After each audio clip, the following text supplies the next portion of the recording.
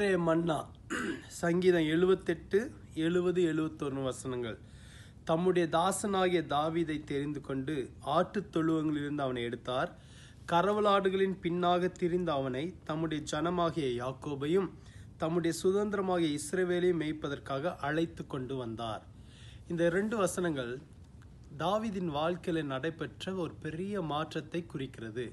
இந்த மாற்றத்தை கொண்டு வந்தது தேவனாகிய கத்தர் இங்கு சொல்லப்படுகிறது கரவலாடுகளின் பின்னாக திரிந்து கொண்டிருந்த அவனை கத்த தெரிந்தெடுத்து அவனை தம்முடைய ஜனமாகிய யாக்கோபையும் இஸ்ரேவேலை மேய்ப்பதற்காக வைத்தார் என்று சொல்லப்படுகிறது. ஆடுகளை மேய்த்தவன் ஆட்களை மேய்க்கக்கூடிய ஒரு உயர்ந்த பதவிக்கு கத்தர் அவனை கொண்டு வந்தார். இஸ்ரேவேலின் ராஜாவாக அவனை வைத்தார்.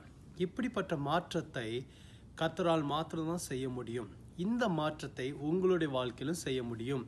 உங்களுடைய வாழ்க்கையில் ஒரு நல்ல மாற்றங்களை கொண்டு வர விரும்புகிறார். இப்பொழுது இருக்கிற சூழ்நிலையை பார்க்காதீங்க. உங்களை உயர்த்த அவரால் முடியும். காரணம் உங்களை அவர் தெரிந்தெடுத்திருக்கிறார். உங்களை தெரிந்தெடுத்ததில் ஒரு நோக்கம் உண்டு. கர்த்தர் எப்பொழுதெல்லாம் உங்களை உயர்த்துகிறாரோ எப்பொழுதெல்லாம் கர்த்தர் ஒரு நல்ல மாற்றத்தை கொண்டு வருகிறாரோ அப்பொழுதெல்லாம் உங்கள் வாழ்க்கையில சில காரியங்களை எதிர்பார்ப்பார்.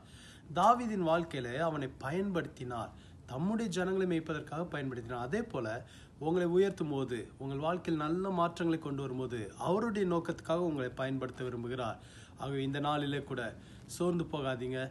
கத்தர் உங்களை தெரிந்தெடுத்திருக்கிறார். அதில் உங்களுக்கு சந்தேகம் இருக்கும் என்றால் மீண்டும் சொல்ல விரும்புகிறார் நான் உன்னை தெரிந்தெடுத்திருக்கிறேன். அவர் நல்ல மாற்றங்களை கொண்டு வருவார் உயர்வுகளை கொண்டு வருவார். ஜெபிப்போமா? தகப்பனை தாவீதின் வாழ்க்கையை தெரிந்து கொண்டு தாவிதின் வாழ்க்கையில் கொண்டு வந்த நல்ல மாற்றங்களைப் போல உம்முடைய பிள்ளைகளுடைய வாழ்க்கையிலும் கொண்டு வருவீராக. இந்த நாள் ஆசீர்வதிக்கப்பட்ட நாளாக இருக்கட்டும் நல்ல மாற்றங்கள் நடக்கட்டும். இயேசுவின் நாமத்தினால ஆசிர்வதிக்கிறேன் அப்பா. சோர்வுகளை எடுத்து போடுங்க ஆண்டவரே.